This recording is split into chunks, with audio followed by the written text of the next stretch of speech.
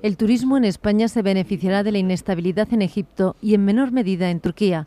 Así lo revela en rueda de prensa la Alianza para la Excelencia Turística Exceltur, que agrupa las principales empresas del sector. Por un lado, esos condicionamientos geopolíticos de mayores eh, problemas en destinos competidores del Mediterráneo, como son todos sabemos Turquía hasta prácticamente junio y sobre todo Egipto desde finales de junio. Esa demanda inesperada que se traducirá en cerca de 730.000 turistas extranjeros y unos ingresos de unos 630 millones de euros adicionales ha hecho revisar al alza su previsión para todo 2013. En enero anticipábamos, en función de algunos datos macroeconómicos y de tendencias que percibíamos, que se podía frenar y recuperar esa caída a un menos 1%.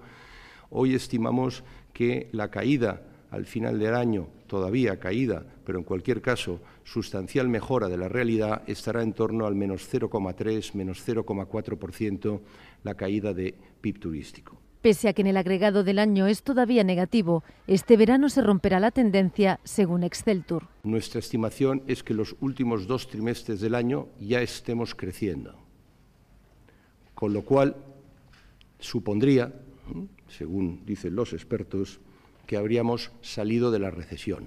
En este escenario prevén unos ingresos por turismo extranjero superiores a los 45.000 millones de euros en 2013.